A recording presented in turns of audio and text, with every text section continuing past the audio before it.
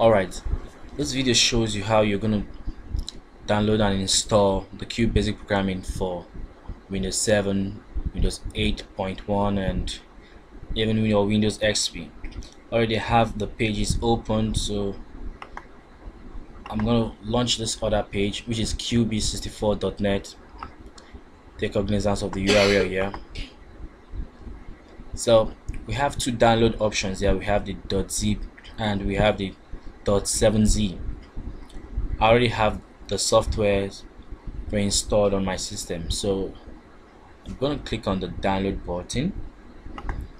I really don't want to download it since I already have it on my system but for your sake you just have to click on and download it.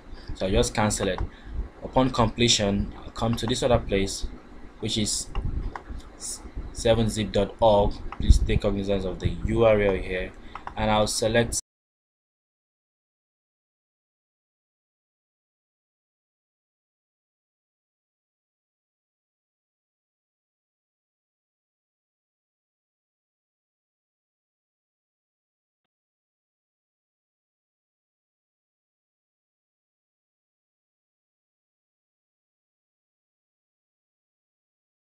so you're going to see it on system type so I'm using a 64-bit operating system x64-bit processor. So that's by the way since I already have it installed and downloaded on my system so I'll just launch the QBasic download. Here's the folder right click and I'm gonna try to extract it with the 7zip I already downloaded from here if you remember from here.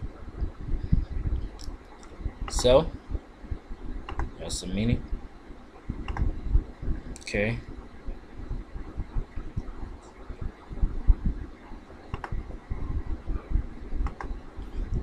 So I'll just launch this. And I'll right click 7zip and I'll click on extract here. So it's going to extract all the files into a folder which I can access easily. It's going to take a few seconds and this will be done just have to exercise a little patience. While it runs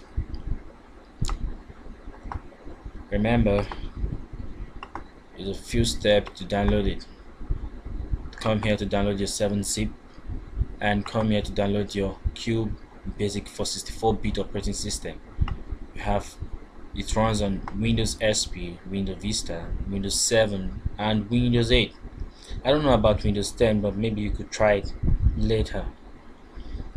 So it's done. So I would just launch it. I have my files here and I click on QB64 which is this. I try to run it. Sorry. And I have my QBasic programming on the screen. So that is all for now